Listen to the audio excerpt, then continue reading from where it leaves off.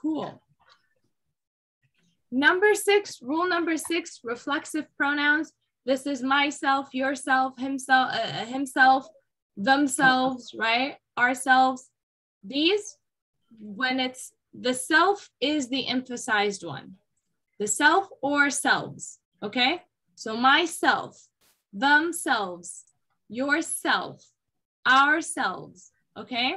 So Okay. the self or the selves is the one that is emphasized. Yeah? That's an easy one. Yes. Cool. It's Yes. always the second one. It's always the self. It sounds the same. Okay. Yeah? Yes, cool. Cool.